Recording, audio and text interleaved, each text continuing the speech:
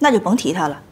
我实话告诉你吧，自从接了你这单呀，我专门挑优质单身男房客给你，而且必然调查婚姻状况。就这个，我绝对是本着咱俩多年的友谊，还有我已婚妇女的道德责任感，才介绍给你的。你给我打住吧你！你是不是收我爸妈钱了？你赶紧趁人没来给我说说这人什么情况。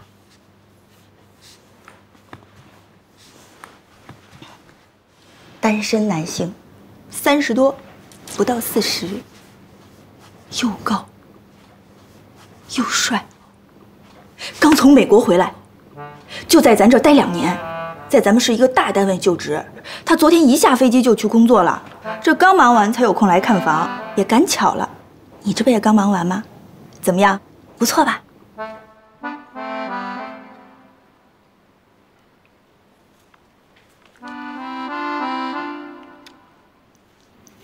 身男性，三十多岁，又高又帅，美国海归，就在这儿待两年，本市大单位，也是刚忙完。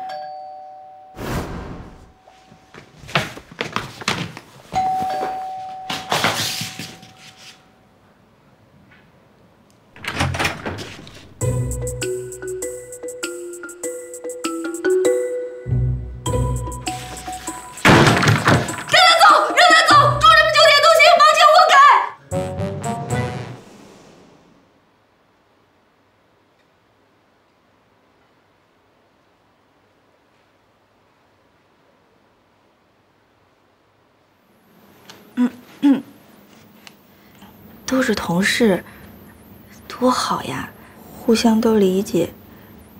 这聊天儿，话题都多。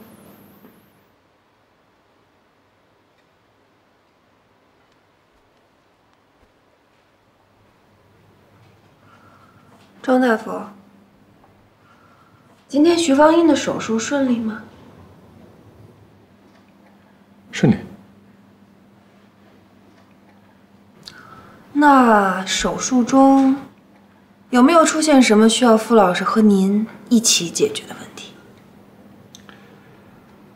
没有出现需要我和副院长一起解决的问题。